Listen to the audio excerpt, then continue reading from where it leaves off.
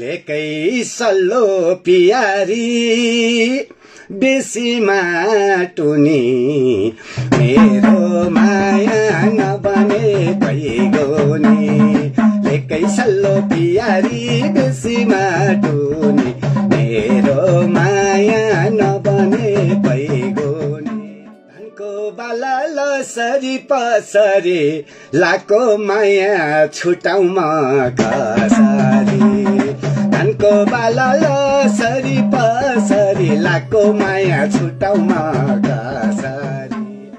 कसरी मेला भेट भएको बेला बुझ्यौ? हे भीमेश्वरी मेला भेट भएको बेला लाइदेऊ माया ए साइले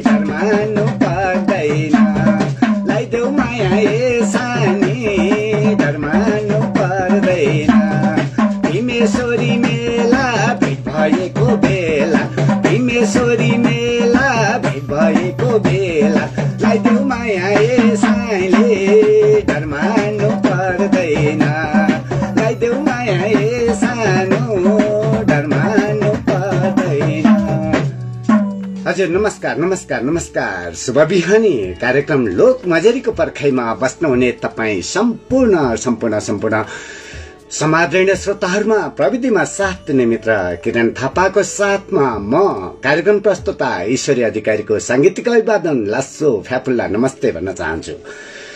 श्रोता रेडियो मिसन एक सय पाँच थप्लो तीन मेगाहज र रेडियो जुगल अन्ठानब्बे थप्लो एक मेगाहजबाट एकैसाथ प्रसारण हुने कार्यक्रम लोकमजरी यो साप्ताहिक कार्यक्रम हो। आज एकदम रमाइलोसँग दोहोरी गाउनुपर्छ भन्ने कुरा यहाँहरूको बीचमा राख्दै आजको चारवटा भाका तपाईँको बीचमा पस्कन्छु। भाका नयाँ पुराना छानिएको छ। यी नयाँ पुराना भाकाहरू जो बजारमा ल्याउनु भएको छ ती सबै साथीहरूलाई हार्दिक धन्यवाद आभार व्यक्त गर्दछौ। तपाईँहरूको यी गीतहरूको उन्नति होस् प्रगति होस्। हामी यही शुभेच्छा व्यक्त गर्दै निकै नै मिठा गीतहरू छानिएको छ। तपाईँले चारैवटा भाका सक्नुहुन्छ भन्ने मलाई लाग्छ। तैपनि छानेर फोनमा कुन गाउन सकिन्छ त्यसमा आउनको लागि म आग्रह गर्दै पहिलो भाका रहेको छ हे माया फोनमै भन्छौ दोहोरी गाउने फोनमै भन्छौ दोहोरी गाउने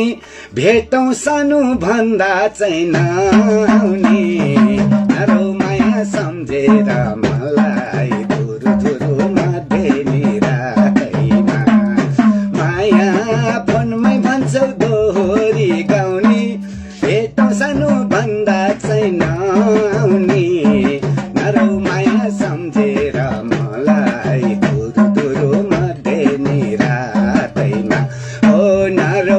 सम्झेर मलाई धुरु धुरुमा देनी रातैमा पहिलो भाका यो छ भने दोस्रो भाका रहेको छ आज बैगुनी मायाले बिर्सियौ परेरो हे तिम्रै यो ज्यान भन्थ्यौ नि पहिले त मुटु लग्यौ पछार्यौ अहिले त जीवन भो तिर्खा मेट्यौ आज बैगुनी मायाले बिर्सियौ घेरो तिम्रै यो ज्यान भन्थ्यौ नि पहिले त मुटु लाग्यौ पछार्यौ अहिले जीवन भो तिर्खा मेट्यौ आज बैगुनी मायाले बिर्सियौ परेरो। तिर्खा मेट्यौ आज बैगुनी मायाले बिर्सियौ परेरो।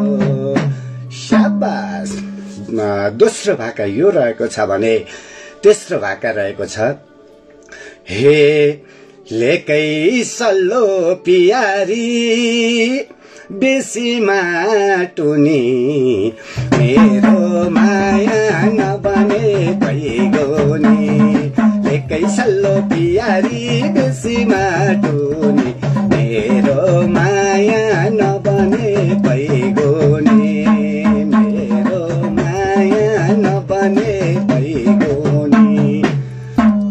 तेस्रो भाका यो रहेको छ भने चौथो भाका रहेको छ। धनको बाला लसरी पसरी लाको माया छुटाउमा कसरी? धनको बाला लसरी पसरी लाको माया छुटाउमा कसरी? ए लाको माया छुटाउमा कसरी? हजुर यो चारवटा भाका आज तपाईँको बिचमा पस्केका छौँ। यो चारवटा भाकामा तपाईँ जुन भाका तपाईँलाई सजिलो लाग्छ त्यही भाकामा दोहोरी गाउनको लागि आउनुहुनेछ भन्ने अपेक्षा गर्दै ठिकै छ। हेर्दै गर्नुहोला तपाईँ फेसबुक हेर्ने साथीहरूलाई पनि मैले रेस्पोन्स गरिराखेको छु। हामी यतिखेर सबैजना खेतीपातीको काममा व्यस्त छौँ। अहिले भर्खरै पानी परे पछाडि केही राहत भएको छ। सबै सबै मान्छेहरूलाई हामी खेती गर्ने मान्छे आशाको भरमा खेती गर्नुपर्छ। त्यस्तै कार्यक्रम पनि तपाईँ आउनु भएन भने आशा निराश हुन सक्छ। तपाईँहरू आउनुभयो भने मात्रै त हाम्रो यो कार्यक्रम पनि प्रभावकारी हुन्छ रमाइलो हुन्छ थुप्रै साथीहरू हुनुहुन्छ गीत सङ्गीतलाई माया गर्ने साथीहरू हुनुहुन्छ।